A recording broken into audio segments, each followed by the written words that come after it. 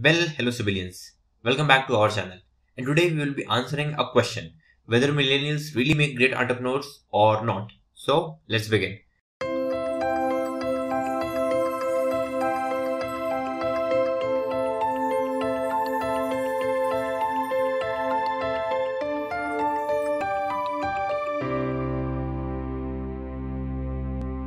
Now, I believe that you've heard about the millennials. Yes, they are the same narcissist, ego driven, and lazy beings that were born between the 80s and the late 90s.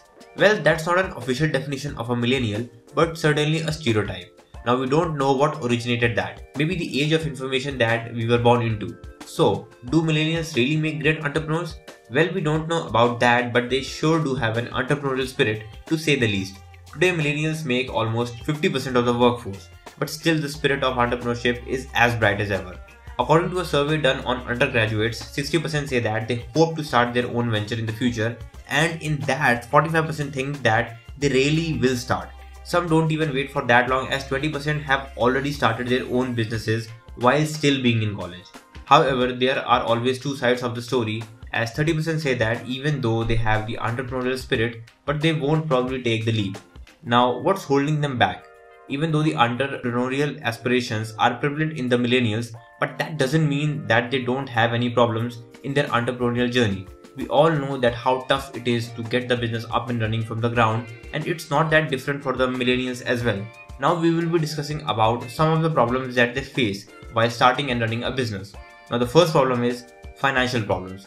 Can you tell what's the most common hurdle in starting a business? You guessed it right it's the money, and it's no different for the millennials as well, as they also need money. And in fact, 42% of the millennials cited lack of funds as the primary obstacle in starting their own business. No wonder 58% also report that they are still carrying student debt. Well, we can make altogether a different video about it, and we will in the future. But now we come to our second point, and that is lack of knowledge. Now, financial hurdle is one thing, but lack of business know-how is also one of the biggest reasons or we should say perhaps the biggest reason as 70% said that they are not getting started because of it. We know you might be thinking that they should take the leap and learn along the way, but like the above stats said that 58% are still carrying student debt, so it's hard to risk any more money or to even get more money to risk. Now the third point is wrong partners. Consider this coming from our own personal experience. I'm a millennial too, so I guess I can tell you that. Nothing can spoil a good business than a bad partnership, and not only business, it can damage the relationship between the partners as well. It's always good to clear your expectations from one another so that you can save that business from falling later on, and more importantly, you can also save your precious relationship with one another. Now, the fourth point is no market need. Millennial or not, if there is no market need for a product, then you can't succeed at it no matter how much funding you have or how good knowledge you and your partners possess. Many entrepreneurs perish because they created something that they thought the market needed, but the market said, nah man, I'm good. It's always better to do your market research before doing any actual groundwork because that way you can save yourself a lot of trouble and resources as well. But these things can't stop our brave millennials into venturing on the road of entrepreneurship. As according to a report of BNP Paribas, entrepreneurs between the ages of 20 and 35 on average have already founded double the amount of businesses as those who were over the age of 50. Take that, boomers. And now we will be talking about those 5 millennials who really made it big as entrepreneurs. And the first one is Mark Zuckerberg, who has a net worth of more than $100 billion as of recording this video. Now, who doesn't know this guy? He probably made the most impacting social media platform Facebook, and he is still acquiring the new ones to defend his crown. Facebook reached a billion users in 2012 and after that the rest is history.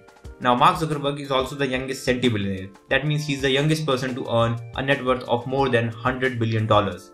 Now the second is Ben Silbermann and Evan Sharp and they have a net worth of 2.1 billion dollars and 1 billion dollars respectively. Ben and Evan founded the quirky social media platform Pinterest that enables you to share and save information via images and GIFs. It is super popular among the creative people and younger generation. Now the third one is Jessica Alba and she has a net worth of more than 350 million dollars. Now you might be a little surprised because we were talking about entrepreneurs and suddenly a gorgeous actress came up. But she's also an entrepreneur if you don't know. She created the Honest Company which promotes ethical and non-toxic products and the company is now valued at more than $1 billion. Now that's really an honest company. Now the fourth one is Mike Krieger and Kevin Systrom, who have a net worth of $400 million and $1.9 billion respectively. They founded one of the most hot and happening social media platform, Instagram, which should have given Facebook a run for its money, but Mark Zuckerberg acquired it soon enough. This platform is completely a photo and video sharing platform which is pretty popular with younger generations who want to share each and everything that's happening in their life. Now the fifth one is Brian Chesky and he has a net worth of more than $3 billion. This guy revolutionized the entire hotel industry when he came up with the idea of Airbnb. Today, many travelers are able to get affordable places to stay, all thanks to his brilliant idea. Airbnb is now valued at more than $100 billion after its successful IPO in 2020. Well, these were just few names, and I guess now you know that despite having the entitled mark stuck on our foreheads, we millennials really worked hard and went big. Believe me, if you think you can't do anything great, just because the society thinks you're some sort of spoiled brat, then that should be the reason good enough to show them that you got guts and announce your arrival to the whole entire world. Well, that was it for today's civilians. If you liked our content, then please like, comment, share, and subscribe. Your likes motivate us to make more content just for you. And do follow us on Instagram. Our community of like minded people is growing bigger day by day.